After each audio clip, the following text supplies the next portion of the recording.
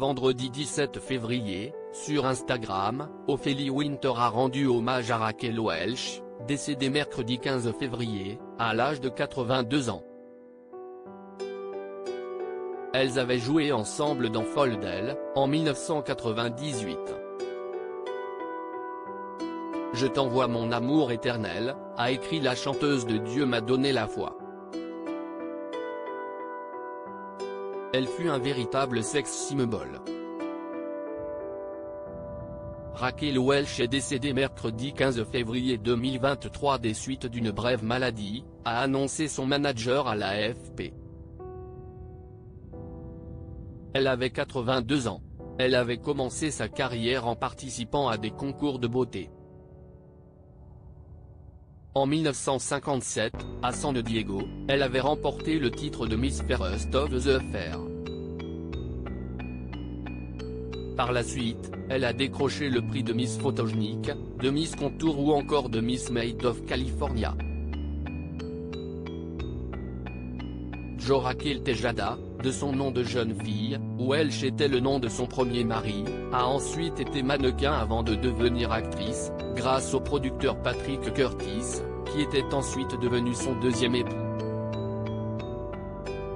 Ophélie Winter, je t'envoie mon amour éternel en se montrant en bikini en fourrure dans un million d'années avant J.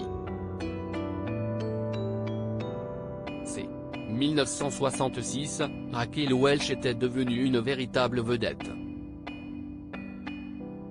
Elle avait ensuite obtenu un Golden Globe pour son rôle dans Les Trois Mousquetaires, 1973. Elle avait joué dans de nombreuses séries, Ma sorcière bien-aimée, 1965, Aloïs et Clark, 1995, en passant par Spin City, 1997-2000. Elle avait également donné la réplique à Jean-Paul Belmondo, dans L'Animal, 1977, de Claude Zidi. Raquel Welch avait aussi joué avec Ophélie Winter dans Foldel, 1998, de Jérôme Cornuau. Vendredi 17 février, la chanteuse de Dieu m'a donné la foi lui a rendu un émouvant hommage sur Instagram. Tu étais ma maman dingue dans Foldel. J'ai été honoré de jouer avec toi. Nous nous sommes tant amusés, a-t-elle écrit en légende de plusieurs photos d'elle et Raquel Welch.